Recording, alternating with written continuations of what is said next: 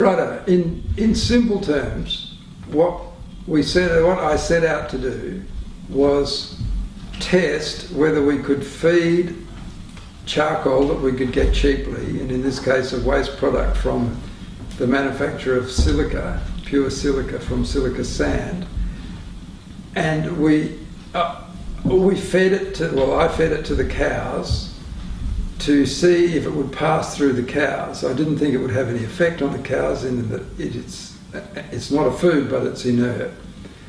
And I thought, well, if I can convince the cows to eat it, and they eat it, it'll pass straight through the cows. It'll fall onto the ground as a component of the cow dung.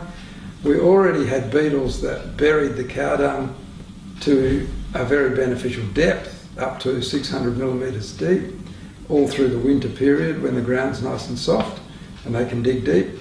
And I figured, well, I'll try it. So I tried it, and within a week, it was proved that the cow, one, the cows would eat it, two, it would pass through the cows, three, the beetles were buried in the ground.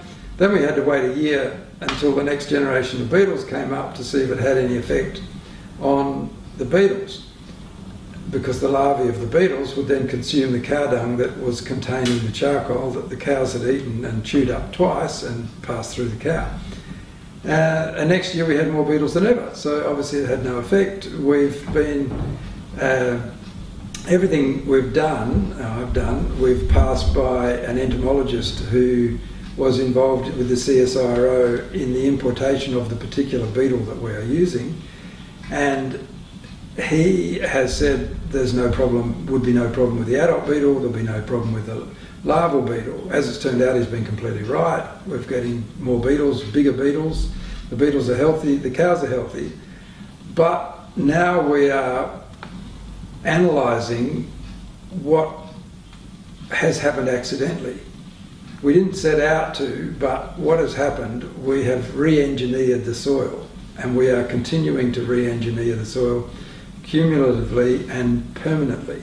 We're adding this carbon material, this biochar, in the ground in an activated form, biologically activated because it's been through the rumen of the cow and then goes through the rumen like gut of the larval beetle.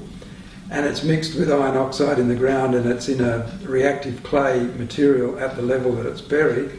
And it starts playing chemical and electrical actions in the ground that are making the ground more fertile to the plants that are the pasture that is supporting the cows.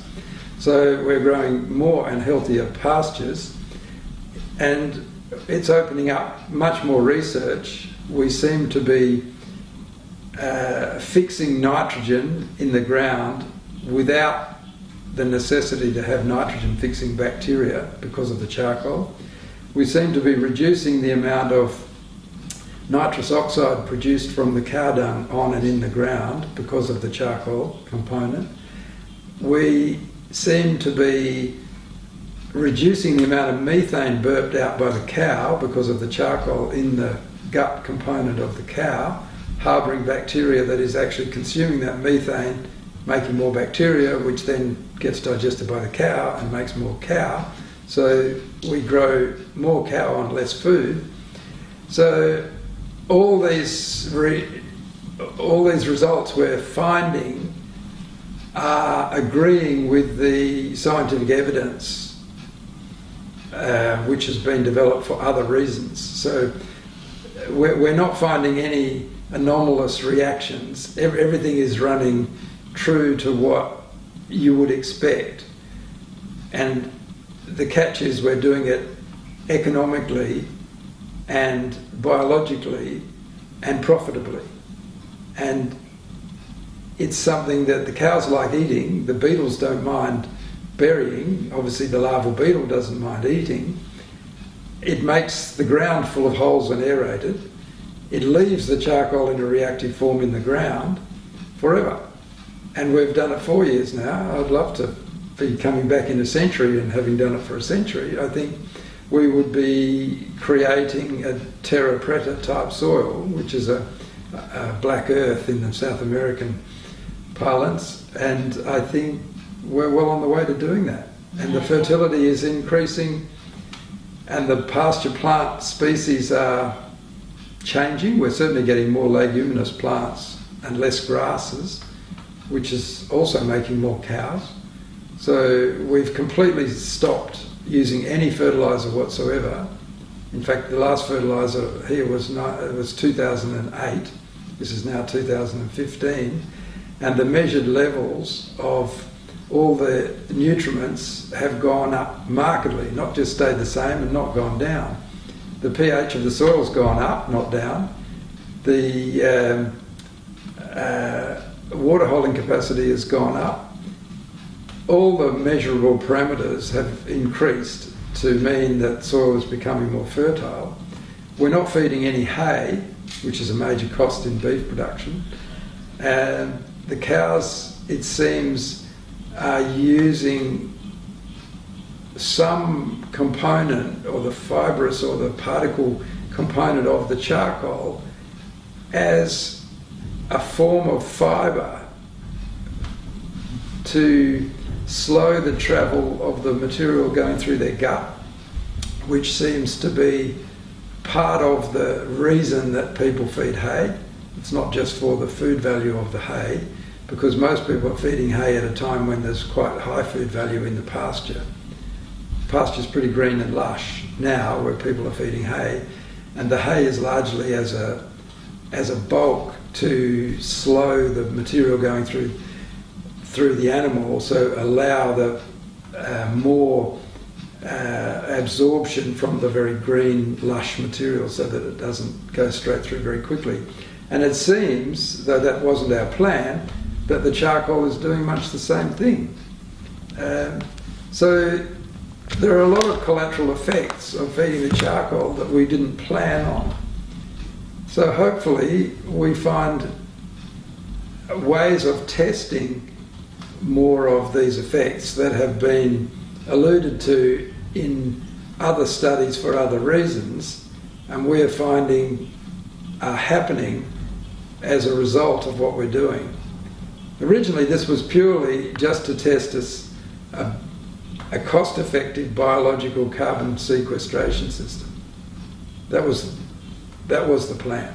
It's become much, much more than that. It's become soil engineering. And I think eventually we will end up with a type of soil much more like a volcanic andesol, which is a, a highly aerated, reactive soil that is very light and non compacted and has a high water holding capacity and a high cation exchange capacity and a high aeration and is nice and soft to walk on and grows much more plant growth. That could be the, the eventual result of what we're doing. How long that will take, I don't know. So just tell me again what you what you started out trying to achieve again. We started out to well, I, I planned to prove a, a workable system of biological carbon sequestration, which means putting meaning carbon. putting carbon in the ground permanently, but without having to use a machine to do it at a, at a cost of burning fuel and buying a machine and wearing it out and buying another machine and burning more fuel.